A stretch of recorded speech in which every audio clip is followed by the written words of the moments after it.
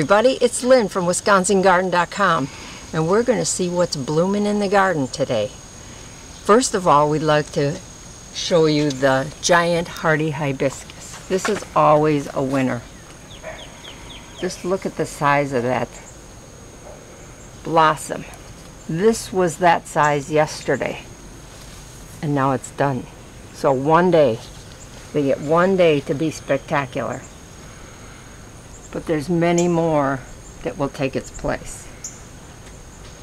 That is incredible. I mean, you know, that right there is almost, I'd say, over seven foot tall already, mm -hmm. on eight foot. But just even the, the buds are cool. That's the early stage. There's the next one. There's the next one. So each stage is fantastic. It just keeps going on and on and on and It'll on. go on for weeks. I mean, so many people stop and ask, well, what is that, you know? It's hard to believe it grows in Wisconsin. And what in happens in fall? In fall, it dies down to all you'll see are the canes that hold it up. And it doesn't even start coming up until almost Father's Day. So it is a spectacular grower. Then a close cousin is this uh, midnight what do we call this? Marvel? Midnight Marvel, right. It's a shorter version, obviously a different color, same family. Hmm. And you have another one too that we, we bought. Hasn't one. bloomed yet, but it right. has blossoms. This is a Jazzberry Jam version. And do we know what color that's going to be, Rick? No, we don't. I have a feeling though it's going to be rose because mm -hmm. they mm-hmm. have it as a rose, rosa. Okay. In the botanical name structure. Okay. And then we have another one over here, but we don't know what that one's going to be. We planted that one last year. Actually, I think we have two over there. Yes, we do. They aren't blo blooming yet, so we're not going to show those. Okay. In the spring, you will go past ditches and ditches of, in people's yards where they have phlox growing and they think, oh, isn't that wonderful? And it is, but that's the bad phlox. That's the one that is so invasive you don't want it. This is the good phlox, supposedly good phlox. This has five petals. The bad one has four petals. This is the time of year that the good phlox blooms. So if you have it blooming in your garden now, good for you. If you had phlox blooming earlier in the year, you may want to keep that in check a little bit because that's not good. We have this color and then we also have this pinker color, and then we have a white also. Pinker? Pinker. We have a pinker it's color. Pinker, yes. I like the pinker. Does it stinker? Uh, no. Okay. Some of you may know from past videos that I love liatris. Liatris is this. Sometimes they call it gay flower. Sometimes they call it blazing star. It comes in different colors. I know for sure, the, obviously, the the white and the purple. There may be other colors, I just haven't seen them. And the, one of the unique things about liatris is it starts blooming at the top and it works its way down rather than starting at the bottom and working its way up. So if you could see that this one has been blooming a long time. This has actually turned kind of into a whole big plant onto its own. I mean, you, you can have them so that they're just one stalk, and then you can have this whole cluster, whole cluster, which is just magnificent. Here is a mystery plant. If any of you know what this is, please let us know. I don't think I want it in our garden because it has spikes on it, on the stem and the stem seems to have a stripe down the down it. But these parallel leaves are so unique looking that at first I thought hmm maybe we should you know see what this is and cultivate it but then I saw the spikes. I'm not so sure I want spikes there. Yeah but it's football season. Uh no. Our friend Tim sent us these Magellan zinnia seeds earlier in the spring and he said they would be spectacular and that they would make a true statement. And there you can see they have. They're absolutely gorgeous. Thank you, Tim. Um, like those, that is three plants together. That I think is a group of five, but this is a whole array and then more over here. I mean, they're just wonderful. Now, they would be even more visible except for all of this milkweed that's blooming in front of them. And you know why we have that. It's for the for the monarch butterflies and as long as they're blooming, I'm not going to cut them down. I did cut these down because they had already shown themselves and the the bugs that were going to get on them are were already there. I have cut tops off a little bit, but uh, we can still enjoy them. They are very, very fragrant though. These are the common milkweeds. These are the monarch's favorites. Mm-hmm. The butterfly garden has turned out beautifully. Right now it looks as though the cosmos have taken over, but if you dig down a little bit deeper, you can see other flowers in there. There's bachelor buttons, there's dwarf um, morning glories, there's um, rose buttons? mallow, and then there were these little, uh, some kind of a, a daisy, I believe, or um, oh, I I don't know quite what those were. I can't remember what we said those were. But it's just marvelous to look at. And yes, it is attracting butterflies. I've seen monarchs in here, swallowtails, the little white and yellow ones. We, we would love to see some more exotic kinds, but we'll take whatever we can get. Well, I saw a um, hummingbird moth too. Oh, that's right. Yeah. Yep, yep. And in front of us we have rose mallow. Some of this we planted, I and think some I'm of it starting to appreciate rose mallow even more. I mean, you know, that's basically what the hardy hibiscus is. Correct. It's in the same family. Same family, exactly. Yep. So it's it's lovely, just lovely, and it comes back. It reseeds itself, so it'll show up again next year without us even having to plant it. This is a plant to beware of. This is called Chinese lantern. Many of you may know this one. It's the the plant that gives you those neat little pumpkin lantern shape orange um, fruits that you so often see in the fall. Rick loves these, so they're here. They are trying to take over, but that's okay. If they make him happy and and they are pretty, we'll let them go. This is um, Butterfly. weed? butterfly weed, right? You can tell because there's a butterfly bug on it. But butterflies love that too. Every variety of butterfly. This is tickweed, which has a yellowy orange flower. These have seeded themselves, so again, Rick and our daughter Lace love these, and sometimes they take over. Uh, since we had so much mulch last year, we have fewer of them, but we'll have more next year. Again, this is rose mallow. This was one that I uh, brought the seeds from the back where I had it growing and it was too big and I put them out here. And for years now they've just reseeded themselves and become established. We have a variety of hostas and they've bloomed at different times. It depends on what variety you have. This one is just doing so lovely under our maple tree and it's in full bloom. Um, sometimes you have to watch out because in the spring the deer like to nibble on the leaves and later on they sometimes come and just snip off the whole flower head before you even get to see it. Well, that's why you want to plant more than one hosta, so you have plenty for them as and, well. And more than one variety because they don't seem to like all the varieties. This one obviously hasn't been touched, so it's right out here in the open. It would easily be eaten, but for whatever reason, they don't eat it.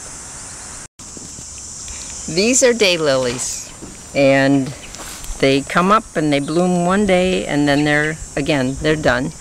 These were given to us by another gardener. Um, she had an abundance in her yard, and I can see why, because they they do spread. So this whole area now has spread from maybe six plants. We seem to have a grapevine blooming in, or growing in here that is not one of our cultivars, but always something to pull. Never a dull moment. Now these grapes we planted, and this year they are doing very well. Rick's been very um, regular in trimming down all the leaves and the extra vines that keep trying to grow. We're trying to pattern them off of things we saw in California and how the vineyards, you know, are really tall, taller, and very clean looking. You don't see all these wild vines growing off like this. Yep. So Rick's been very vigilant about cutting them back and keeping all the energy going into the grapes. Our raspberry jungle is still going strong. We have picked and picked and picked. We've been very pleased with how many uh, people have actually come. We've met them and they heard about us online and they came, or friends and family who have come to pick. And there's still some here that's winding down a little bit, but uh, they're definitely here. So come and get them. This is the week. This and plants. We're giving plants away too. If you want a plant that'll bloom next year and produce raspberries for you next year, we still have some of those. Now that the raspberries are kind of waning, this is when the blackberries are abundant. And this year is a, again, it's a bumper crop for us. We've not had this many. And as you know, blackberries have to be black before you eat them because if you try eating them when they're red, you, you won't be happy about it. And you definitely won't get the true pleasure of them. They are, I think they're an acquired taste because they aren't as sweet as a raspberry, but they're, they're so big that, uh, They're very healthy for you. and they are. Mm -hmm. See, this is why produce never gets into our house. Just there. There's an example You're right there. welcome to come out and help yourself. Yeah, but you always get to them first. If you have room in your garden for a very tall plant, then Joe Pye weed might be the one you're after. Very reliable, it's tall, it's has interesting leaves and a beautiful purple cluster on the top. So many insects and pollinators like Joe Pye weed, so it's, it's a good thing. Plus, it's fun to say, And? isn't it, Scott? And And then more phlox. the good stuff. the good stuff. And this, actually, it does smell good. Phlox has a very nice, um, How about Joe Pyeweed? Joe, well, let me see. I just don't want to get a bee in my nose. No, not so much. How about a bee in your bonnet? No, thank you. Hydrangeas or snowball bushes, as we used to call them as kids, are blooming now in Wisconsin. This is a, obviously a pink one. We could get it to be blue by adding more sulfur to the to the soil. Pink is just lovely. They have white ones, they have blue ones and pink ones, so it's just and they have all different kinds now. They have some that are like in a um, conical shape. They're taller, not so round. Uh, there's a whole variety of them, and some of them are very pricey. We looked at one last year that that was kind of a pinkish, whitish mix, strawberry something they called it, and it was out of our price range, but it was beautiful. Another one of my favorites is balloon flowers. And they call them balloon flowers because they start off looking like little hot air balloons full of air. Our sons and our grandson like to pop them, which doesn't seem to bother the blossom. And then when they spring open, there they are. We started with the purple ones. Somehow we got some white ones mixed in, and then we started to get mix of white and blue together. That's what pollinators do. they like to keep the variety going.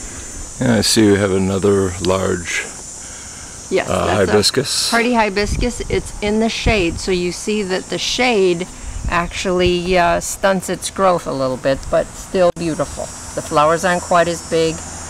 The plant is not quite as tall. It used to be, but once we added our weeping uh, flowering cherry and these roses took off, it became more of a shade plant. So we still enjoy it, it just doesn't get as big. Then we have a different color of echinacea. You often see the big purple ones, the cone flowers, but they come in different colors and these aren't all the colors. We've seen spectacular red ones and white ones and all different, but we, we're starting slowly. We've got these and then behind them is the end of, of, of an astilbe blooming and behind that is the butterfly weed again such a nice contrast to go from the kind of a orangey yellow and then the pink and then the orange again. Very pretty. We thought you might like to see the compass plant now that it's adjusted itself to our yard. This plant was used by the, um, the pioneers to find their way when they were, either it was dark or they didn't know quite which direction they were going. The tale goes that the leaves align themselves on the north and south by having the actual leaf itself face east or west. So if you look at it, it's true. This is the north, that's the south, east and west. And they used to be able to touch it at nighttime because it has a very sandpapery texture to it and they would be able to tell if they were going in the right direction. Now, I don't know if I would do that, but then I'm not a prairie woman either, so. Well, at least it helps you to find out where the north is. Yes, yes it does. Russian sage.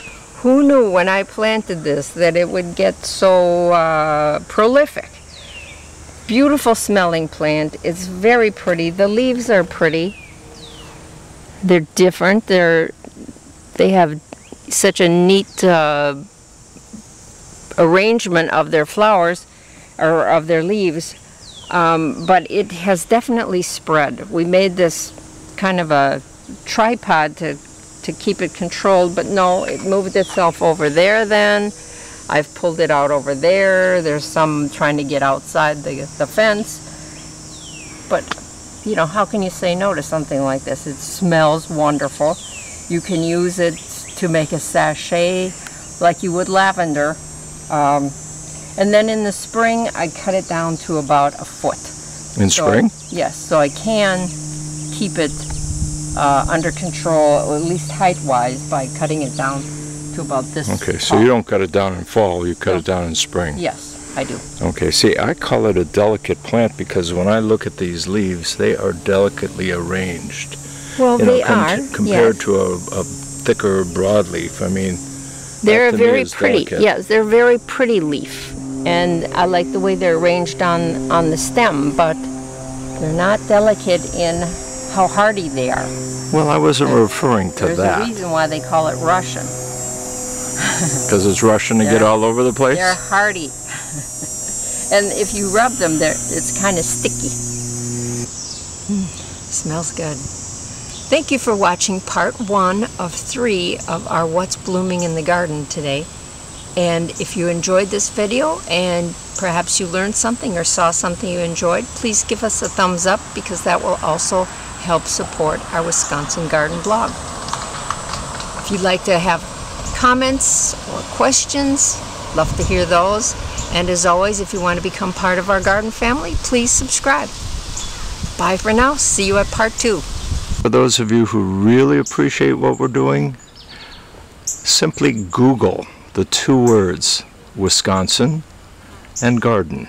Uh, you can actually leave a review. And off to the right, you'll see our little picture, and at the bottom, you'll see uh, how many people have already left a review. So every little bit helps. And We're again, very thankful. We really appreciate all of your help. Thank you so much for watching. Bye for now. Connect with us on YouTube.